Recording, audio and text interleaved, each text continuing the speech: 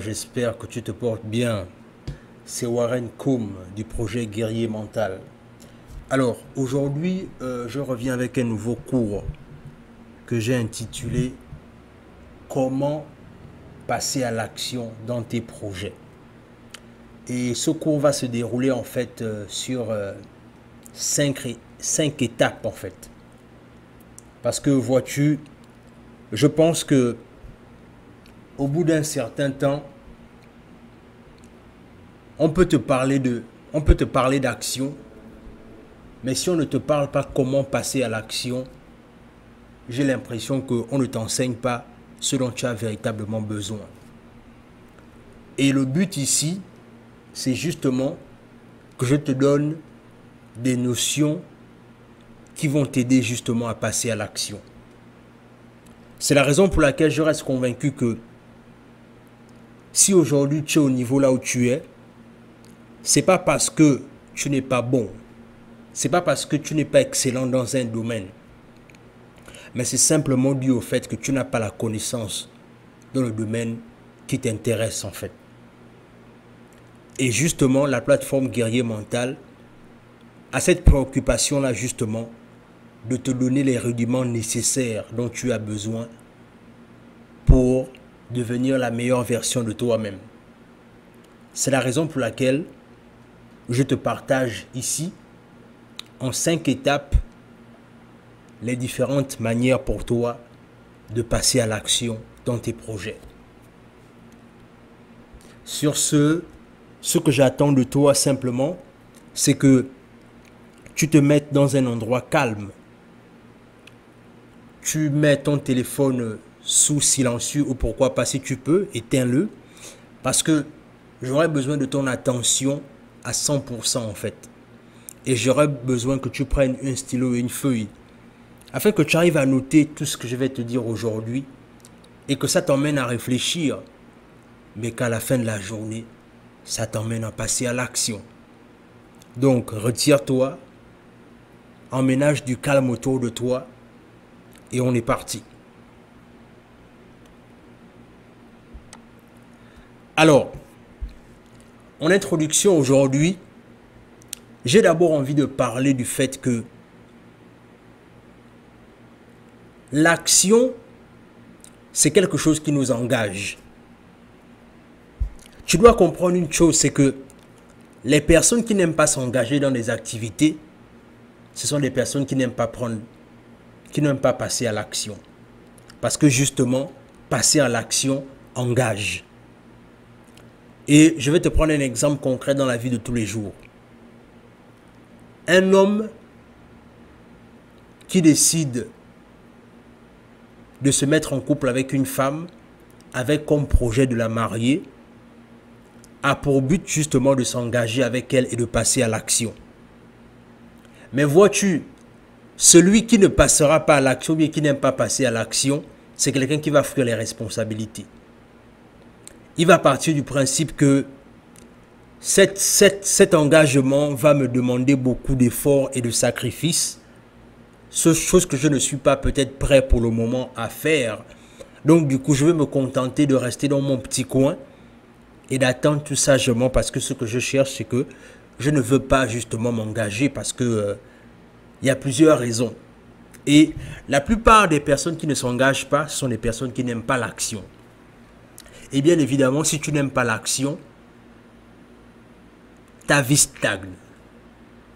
Parce que Ici, quand je parle d'engagement, je parle du fait de prendre des risques en fait. Parce que oui, à la fin de la journée, il faut comprendre une chose, c'est que la vie est un risque. Mais c'est quel genre de risque? Tout dépend de la manière dont tu décides de la vivre. Mais spécifiquement aujourd'hui dans cette formation, j'ai envie de couvrir un peu les différents aspects sur lesquels les gens souvent sont de plus en plus parfois indifférents, mais qui ont leur pesant d'or, notamment dans leur passage à l'action. Et sur ce, la première question que je vais d'abord te poser, et que je me suis posée également en préparant ce cours, c'est pourquoi passer à l'action? Oui. Pourquoi passer à l'action? En quoi est-ce que c'est nécessaire de passer à l'action? C'est une question que certainement tu t'es posée quelque part d'une façon ou d'une autre. Oui, mais pourquoi est-ce que je devais passer à l'action? Euh, En quoi c'est nécessaire Mais vois-tu, la nécessité et l'importance de passer à l'action, c'est parce qu'on cherche des résultats en fait. C'est la quête du résultat qui nous pousse à l'action. S'il n'y avait pas de résultat, s'il n'y avait pas l'enjeu du résultat, je ne pense pas qu'on passerait à l'action. Et je crois clairement que toi aussi à ton niveau, certainement tu recherches des résultats. Peu importe dans le domaine dans lequel tu veux te lancer, tu es toujours en quête d'un résultat. Soit par rapport à ton entreprise, soit par rapport au fait que tu veux gagner plus d'argent, soit par rapport au fait que tu veux influencer des gens, soit par rapport au fait que tu veux être un leader dans ta société. Dans tous les cas, il y a tout une recherche, il y a tout une recherche autant pour moi de résultats. Et c'est la raison pour laquelle il est nécessaire et voire même prioritaire de toujours passer à l'action au quotidien dans tout ce que nous faisons. Parce que comme je l'ai dit au préalable, le passage à l'action engage. Donc, être un leader, c'est quelqu'un qui est sur le terrain. Être un leader, c'est quelqu'un qui passe aux actes, même quand les conditions ne sont pas favorables à le faire. Parce que quoi, le plus important ici n'est pas de chercher le moment parfait, n'est pas de chercher le moment idyllique, mais le plus important, c'est de tenter sa chance et de voir les résultats. Donc, tu dois clairement comprendre que, comme je le disais, le passage à l'action, c'est quelque chose qui doit t'habiter dans ta quête vers le succès. Alors, les cinq étapes de l'action. Premièrement, je tiens d'abord à souligner un, un principe, c'est que l'entretien du passage à l'action se fait en cinq étapes, notamment par l'objectif, la réalité, les options, les décisions et le suivi. Et ces cinq étapes ont été bien spécifiques parce que c'est une marche en fait que je veux que tu puisses comprendre en fait et que tu puisses aller étape par étape afin que tu puisses comprendre vers où est-ce que je veux t'emmener en fait. Alors, sans plus tarder, on va passer à l'objectif. Alors, dans l'objectif, il est question ici de visualiser en fait ta cible. Ok, passer à l'action n'est pas quelque chose de vague, mais tu passes à l'action par rapport à quoi? Qu'est-ce qui te fait passer à l'action? Qu'est-ce qui t'engage à passer à l'action? Et bien évidemment, quel est le pourquoi de l'action? Tu dois te fixer un objectif à atteindre lorsque tu veux passer à l'action. Ne passe pas juste à l'action parce que c'est quelque chose qui a été euh, institué comme ça. Oui, j'ai envie de passer à l'action parce que... Mais tu passes à l'action pourquoi? Quel est ton objectif dans ton passage à l'action Est-ce que tu veux changer de vie? Est-ce que tu veux monter une entreprise? Est-ce que tu veux devenir un leader? Est-ce que tu veux devenir une meilleure personne? Ou encore est-ce que tu veux influencer ton entourage? Fixe-toi un objectif lorsque tu veux passer à l'action. Parce que l'objectif sera ta ligne de mire. Et conscient du fait que tu as un objectif, ton passage à l'action devient une évidence. Et ça devient plus facile en fait. Mais si tu n'as pas d'objectif, bien évidemment, ton passage, ton passage à l'action, j'y arrive, sera comme si tu es un chasseur qui va à la chasse, mais avec objectif de tuer tous les gibiers en fait. Alors que l'évidence claire et nette, c'est que si un chasseur va à la chasse pour traquer tous les gibiers en même temps, à la fin de la journée, il va revenir même pas un à la main. Donc, il faudrait que tu comprennes que passer à l'action, c'est bien. Mais passer à l'action avec un objectif atteindre, c'est mieux. Parce que ça te permet de ne pas disperser tes énergies de façon négative. Parce que, vois-tu, le passage à l'action, certes, c'est quelque chose qui est excellent. Mais c'est quelque chose en même temps qui demande beaucoup d'énergie et de patience pour atteindre le succès. Donc, comme je le disais, si tu n'as pas d'objectif clair et net, au bout d'un certain temps, tu vas t'épuiser. Et mon but justement, c'est ne pas que tu t'épuises, mais c'est pour que tu réussisses.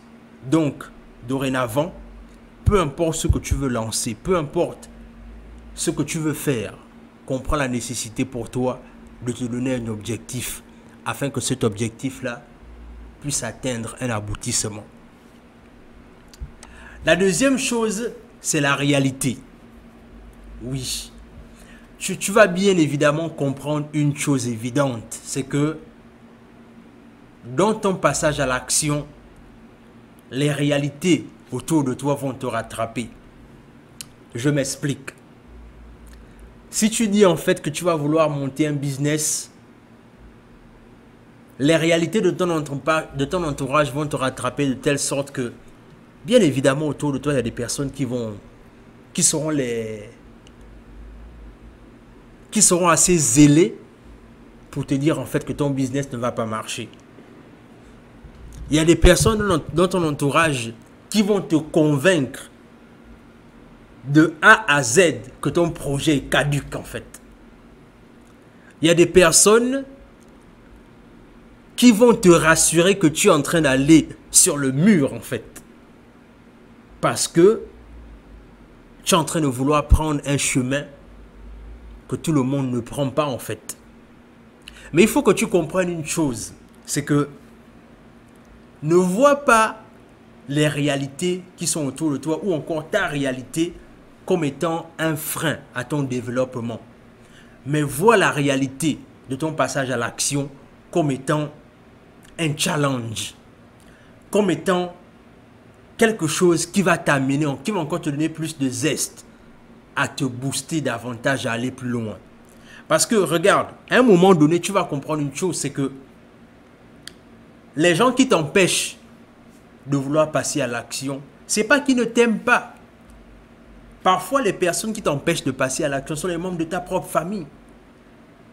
Mais vois-tu, au bout d'un certain temps, ce qui se passe souvent, c'est que les, membres de, notre famille ou encore de notre entourage direct, parfois, ils nous aiment tellement que leur amour peut être un frein à notre propre élévation, en fait.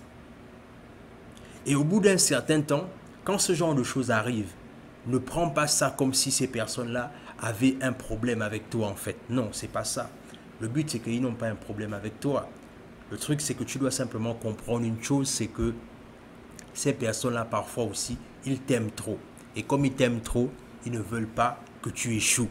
Mais alors que empêcher à quelqu'un d'échouer, c'est l'empêcher de réussir en fait. Et tu dois clairement comprendre que tes réalités seront là en fait ils vont te questionner sur pourquoi est-ce que tu veux passer à l'action dans tes projets. Parce qu'à la base, ce que ces personnes-là aiment, ce que ces personnes-là aiment en fait à la base, c'est que ils aiment juste que tu parles de tes projets. Mais lorsque tu parles de tes projets, ces personnes-là, ils sont là pour écouter en fait. Ils sont là pour écouter tes projets mais lorsque tu commences à vouloir passer à l'action, ces personnes-là ne sont plus là en fait. Et ces personnes-là ne sont plus là pourquoi? Parce qu'à la base, ils aimaient juste entendre parler de tes projets. Ils aimaient juste, lorsque tu étais là, à leur raconter tes projets à longueur de journée. Mais lorsqu'on parle de réalisation, chacun va aller commencer à te dire, chacun va te rappeler combien de fois ton projet est caduque, comme je le disais. La troisième chose, ce sont les options. Bien évidemment, qui parle de passage à l'action, on ne peut pas éviter les options. Parce que lorsque tu vas vouloir monter ton projet, business ou peu importe la nature de ton projet, il faut comprendre une chose, c'est que ce ne sera pas facile et tu auras beaucoup d'options autour de toi. Mais je, je, tiens quand même à te prévenir sur une chose, c'est que dans tes projets, c'est bien d'avoir des options. Mais au bout d'un certain temps, les options dans la vie de quelqu'un peuvent faire un frein. Pourquoi? Parce que au bout d'un certain temps, lorsque tu as beaucoup d'options, ça t'empêche de rester focus sur un projet. Parce qu'il y a beaucoup de gens qui disent, par exemple, oh, je vais monter tel, tel business, mais si ça ne marche pas, je vais passer à l'option B. De toute façon, si l'option B ne passe pas, je vais passer à l'option C. Et au bout d'un certain temps, ces personnes-là peuvent se retrouver jusqu'à l'option Z. Mais ils n'ont jamais rien conçu en fait. Pourquoi? Parce que simplement, ils avaient beaucoup d'options en fait. la meilleure technique pour toi, c'est que dans ton passage à l'action, comme je le disais, au lieu d'avoir plusieurs, euh, plusieurs options, donne-toi l'option de ne pas avoir d'option en fait. Est-ce que tu vois la tautologie? Donne-toi l'option de ne pas avoir d'option. Parce que c'est en agissant de la sorte que tu vas rester concentré sur tes projets.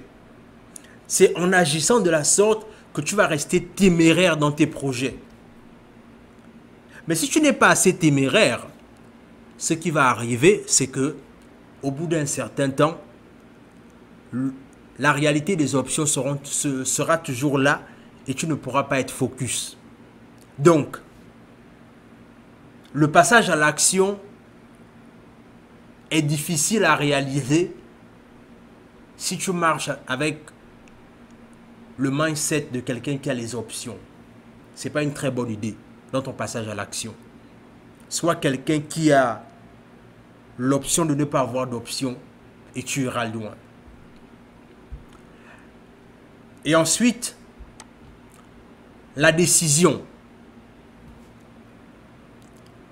Tu dois comprendre une chose, c'est que pour pouvoir passer à l'action, la décision, c'est la clé en fait.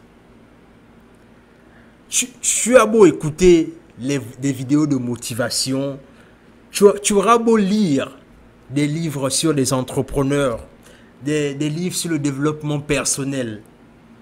Tu auras beau prendre des séances de coaching, mais à la fin de la journée, qui réalise tes projets? C'est toi-même.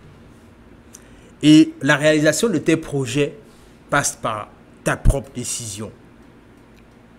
Passe par le fait que tu as reçu de l'accompagnement, tu as reçu beaucoup d'informations, mais qu'est-ce que tu vas faire de ces informations-là en fait?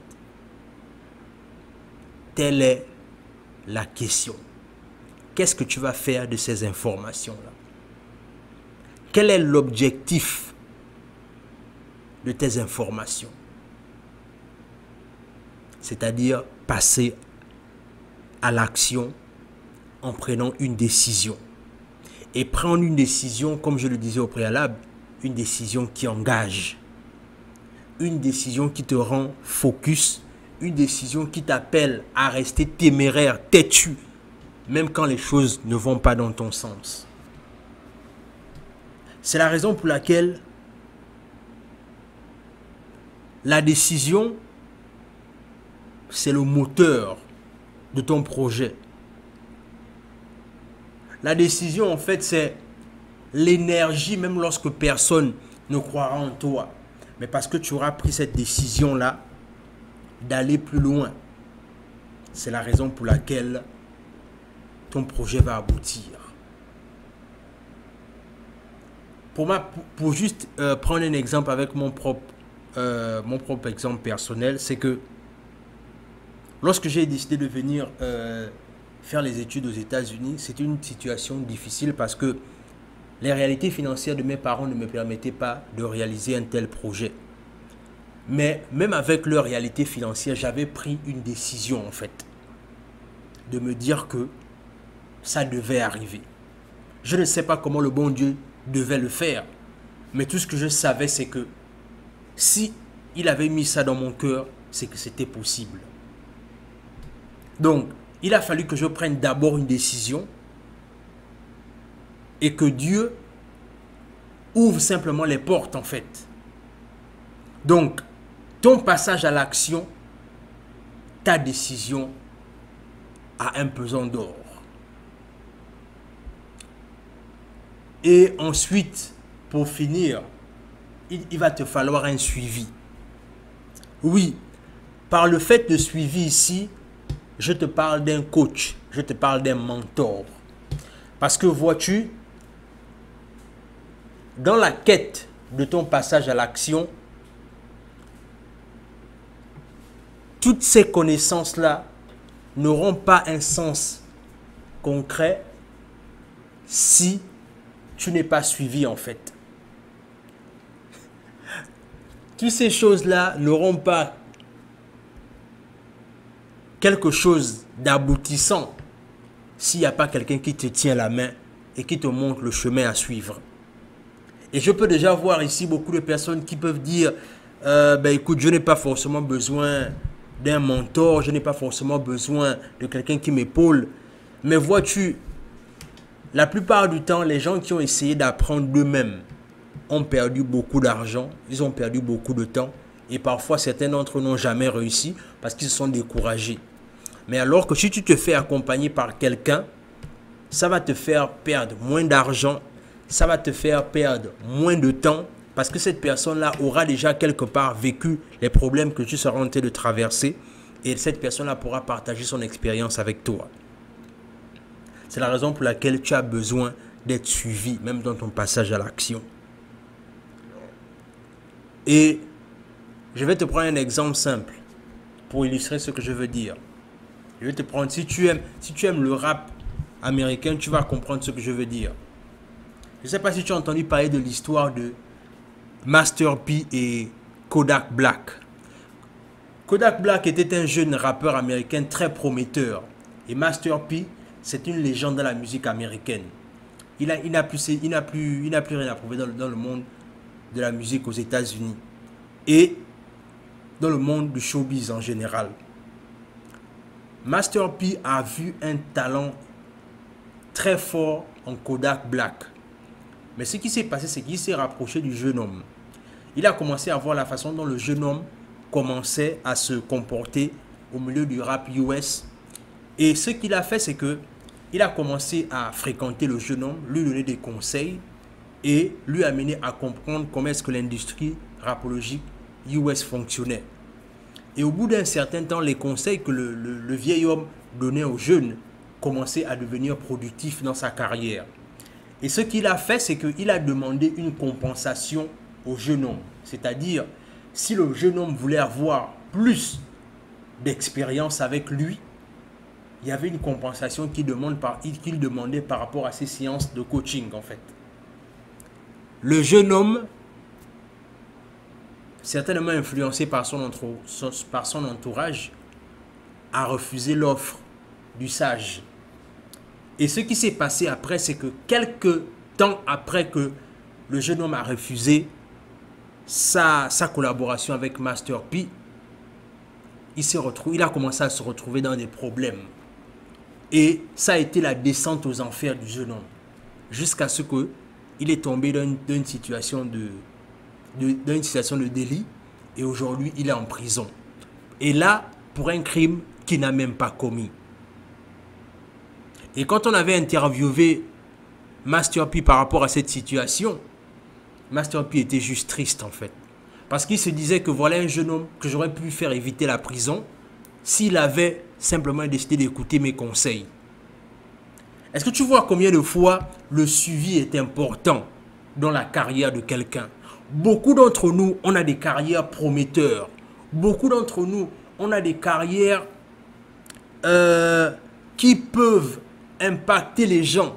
Mais la plupart du temps, ces carrières-là finissent souvent en anéanties parce que les gens ne comprennent pas la, la nécessité ou encore l'importance du leadership, de l'accompagnement. Il, est important que dans ton passage à l'action, il faut que tu te fasses suivre par quelqu'un.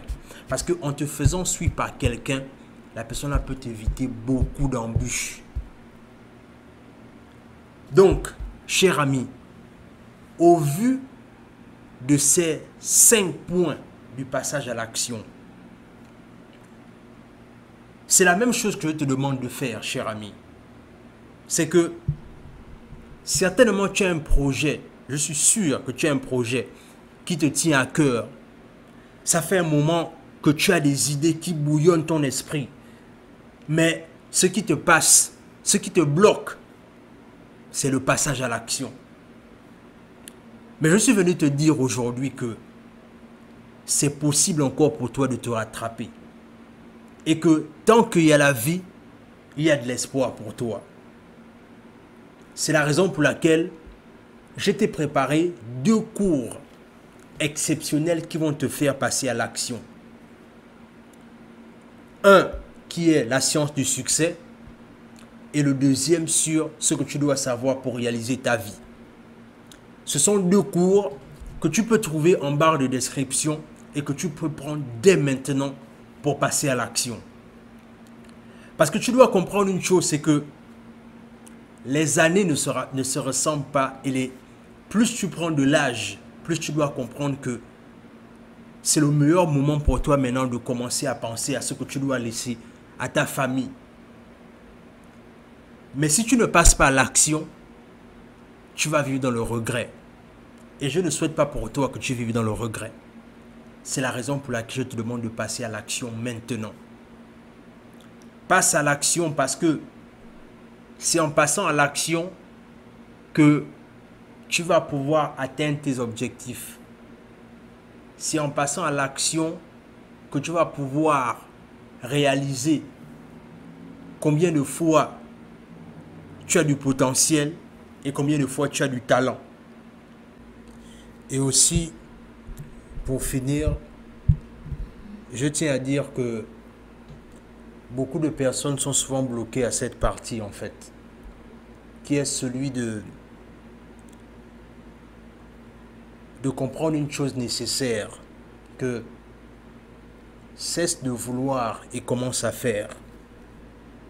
Parce que le but ici, c'est pas de vivre dans les regrets. Trop de personnes vivent dans les regrets et malheureusement, beaucoup d'entre elles ne passent jamais à l'action. Et moi, je ne veux pas que tu termines de la sorte.